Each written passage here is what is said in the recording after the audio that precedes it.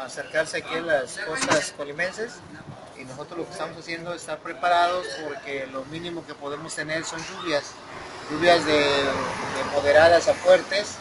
Y eso pues nos puede provocar problemas en algunos puntos de riesgo que ya todos conocemos aquí en Manzanillo y que puede haber este, alguna inundación. Entonces estamos preparados, de hecho ahorita está instalando ya el comando, ya están llegando aquí autoridades, que vamos a estar aquí haciendo un enlace entre todos y de acuerdo a lo que se vaya presentando, pues poder distribuir las diferentes eh, este, indicaciones para poder este, proceder a la atención de la gente.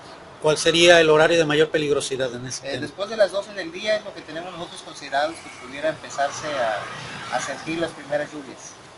Sí quedaron que iban a hacer un recorrido para los diferentes arroyos y todo para ver qué situaciones de peligro había. ¿Ya se llevaron a cabo? Sí, claro. ¿Ya se trabajó en ello? Claro, claro. De hecho se está trabajando todavía, no, no se ha terminado, pero sí se tienen avances considerables.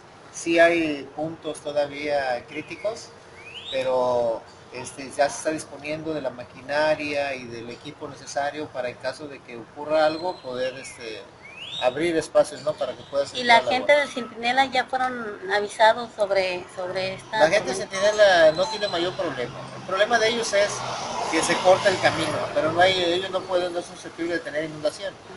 O sea, ellos no corren ningún riesgo. El problema es de que no tienen hacia dónde salir. Y luego pues hay que hacerles llegar algunos víveres y demás. Pero la gente de Centinela ya debe de estar preparada. Ya debe tener este, sus propios recursos ¿no? para poder subsistir. Además hay otro camino que se habilita que es por medio de las huertas, de, los, de las zonas de cultivo, donde ellos pueden también salir. Desde luego que si llegase a cortar ese camino, pues también queda totalmente incomunicado. Además del Centinela, ¿alguna otra comunidad que representa un foco rojo o punto de atención para ustedes? Para nosotros ese, es el punto de más este, referencia, de, punto de, rojo, porque se quedan incomunicados.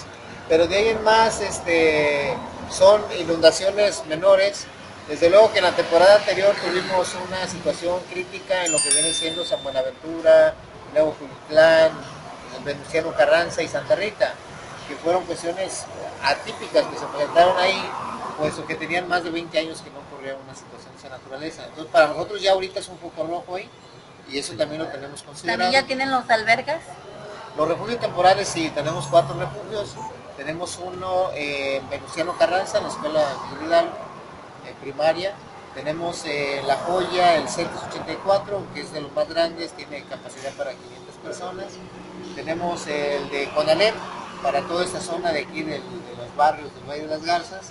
Y eh, para de Tapeces a la zona centro, estamos considerando los bachilleratos 8, 9 y 10 de la Universidad de Colima, que tiene capacidad como para mil personas. Oye, tiene de presentarse las lluvias, ¿de qué tipo serían? Digo, en caso de que se cumpla el pronóstico que ustedes están Si se cumple el pronóstico, pues serían lluvias torrenciales, lluvias, este, una gran precipitación que sí nos podría provocar en las partes bajas este, inundaciones. ¿Cuántas horas o días? Este, no, no podríamos precisar eso, puesto que es un pronóstico, pero nosotros ya vamos a, quedar en este momento, eh, podríamos decir, encuartelados y no nos vamos a mover de aquí de protección civil hasta que no termine, porque luego de que termine la contingencia vienen los trabajos de rehabilitación, es donde entra este, la maquinaria, el equipo, el equipo que se requiera para ello. ¿Qué precauciones debe tener la gente? La gente ahorita lo que debe de hacer es estarse preparando, tener alimentos para más o menos unas 72 horas, alimentos enlatados, deben de tener agua, deben de tener este eh, lo, que se refiere a un radio, un radio portátil de baterías, una, lámpara, sus documentos más importantes en, un, en, una, en algo de plástico sellado, en una mochila, y bueno, tener lo, lo indispensable para subsistir. Y sobre todo estar muy atentos a la comunicación que a través de los medios como ustedes se va a estar haciendo llegar a través de profesores.